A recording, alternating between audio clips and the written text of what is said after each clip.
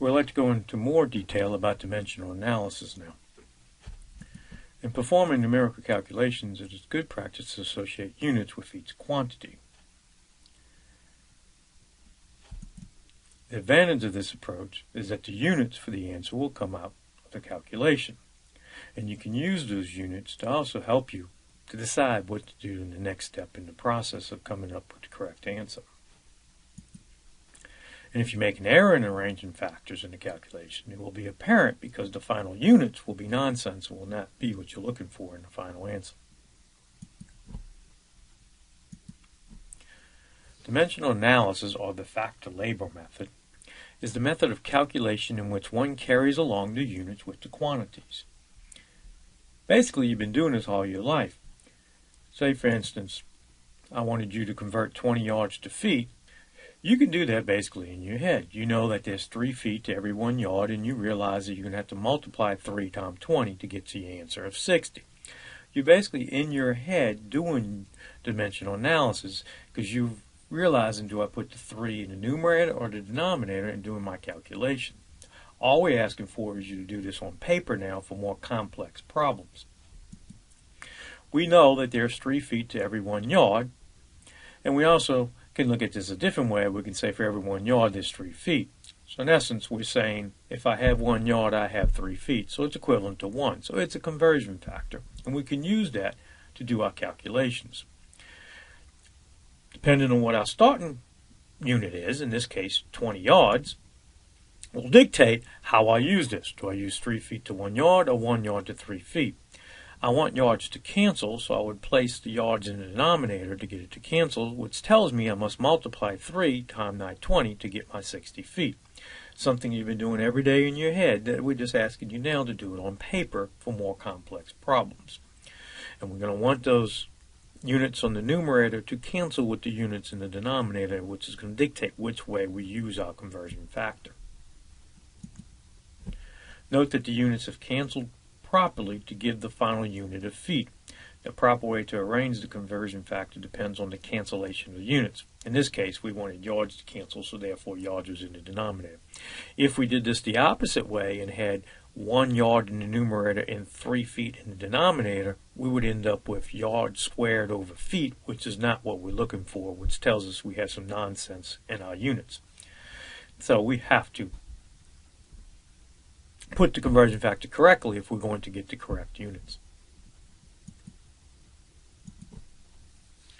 The ratio of 3 feet to 1 yard is called the conversion factor and is an exact number. It doesn't affect significant figures. The conversion factor method may be used to convert any unit to another provided a conversion equation exists. Now here's some relationships between the U.S. and metric systems. Length we have one inch is equal to 2.54 centimeters and several others. Uh, we also have a mile is equal to 5,280 feet. Mass, one pound is 454 grams. Volume, one quart is equal to 0.9464 liters. Four quarts is equal to a gallon. It is recommended recommended that you memorize one set of conversion factors and work towards them to make the switch from the U.S. to metric system and vice versa. We're not going to do a lot of converting from U.S. to metric or vice versa in this class. Only on the first test there'll be a couple of problems. I suggest you learn one in each one, length, mass, and volume, and have that in your head and work toward it. So if you're dealing with something in length, you're going to work toward an inch and do your bridge to get from that to the metric to centimeters and go from centimeters to what you're looking for.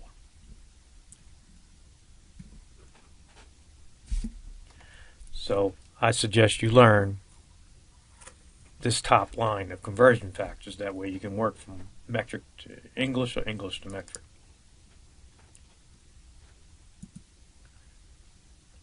Let's do an example. How many meters are in 6.81 miles? Well, we know that our bridge is one inch is 2.54 centimeters. So we got to get from miles to inches. And once we get there, we can do our bridge and then go from centimeters to meters. So we go from miles to feet and feet to inches. So we got to remember all those English conversions. And then we have our bridge of inches to centimeters. And then we have our metric system, which is a prefix difference to get from centimeters to meters. So we start off with 6.81 miles. So now we go from miles to feet. So I got 5,280 feet for every one mile. And I need to put it in this fashion because I want miles to cancel. Next, I'm going to go feet to inches, which is 12 uh, inches is equal to one foot. And I'm going to have my foot in the denominator to get that to cancel. And now I'm going to use my bridge. And my inch will be in the denominator because I want it to cancel. So now I'm in centimeters. I need to get to meters. We know that there's 100 centimeters for every one meter. So my 100 goes in the denominator for I can get centimeters to cancel. And if I multiply everything out, 6.81 times 5280 times 12 times 2.54 times 1, and divide that by uh, 1 times 1 times 1 times 100, we get our answer of 1.10 times 10 to the fourth meters. Is the same system we use for any conversion factor. What happens if we go and do the square of a unit and use a square term of our conversion factor? Say, for instance, how many inches square are in 12.00 feet squared? Well, we start off with our unit again to start off 12.00 feet squared. And we're going to now multiply that by our 12 inches to one foot. Once again, I'm putting feet in the denominator to get them to cancel. However, I got to get the whole term to square, so I will be squaring the whole term. Now you got to realize when you square the whole term, the conversion factor is squared to cancel the units. The coefficient as well as the unit is squared, which means in essence, this 12 inches one foot is squared means that I have 12 squared as well as inches squared. My 1 is squared as well as feet is squared, which in essence means that my conversion factor is really 144, 12 squared, inches squared over 1, 1 squared is 1, feet squared. So now, I would take 12.00, multiply it times 144, my feet square now cancels, which again gets me my final answer, which is 1,728 feet squared. The key to remember here is you got to square the whole thing. All parts of that conversion factor are squared. That way you have your feet squared to cancel out.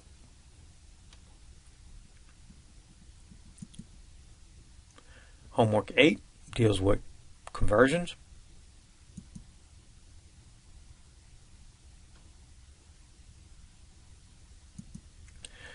We have one more slide in this chapter. This goes back to the prefixes that I mentioned earlier. How many milligrams of sodium hydrogen carbonate or 55.0 milliliters of a solution that contains 3.48 grams per liter of sodium hydrogen carbonate. So I'm going to take my 55.0 milliliters and I want to convert that into milligrams. Well, to go from a volume to a mass term, we know that we can use density to do that. So then I would multiply by my density next, 3.48 grams per liter. However, I got milliliters and I have liters. Well, remember we said earlier that I can just basically say, okay, I can just cancel the liters and not worry about the prefix and leave the prefix there. So my liters cancel and I'll leave my milli here. I didn't cancel that. And I have grams here. So all I do is put the two units together after I multiply the 55.0 and the 3.48. And I get 191 milligrams. Note we can treat the prefix separately from the unit. In this case, the liters cancel, and the milli is combined with the final unit of grams. So we can just get rid of the base unit and keep that prefix and move it. That makes life easier as we're doing calculations. Let me show you what I mean by that. Alternately, we could have done this the normal way by canceling units one at a time, ending up with the same answer. Let's see how this differs. You start off with your 55 milliliters. Well, I know I got to cancel at liters, so the first thing I do is convert milliliters to liters. So I would do a thousand milliliters to one liter. Milliliters cancel. So now I'm in liters. 55 divided by a thousand will tell me how many liters I have right now. Now I convert that liters to mass.